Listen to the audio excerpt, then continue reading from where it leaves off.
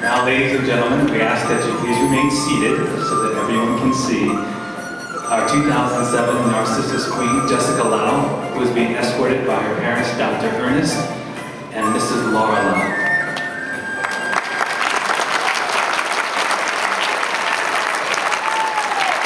Jessica was born in Honolulu.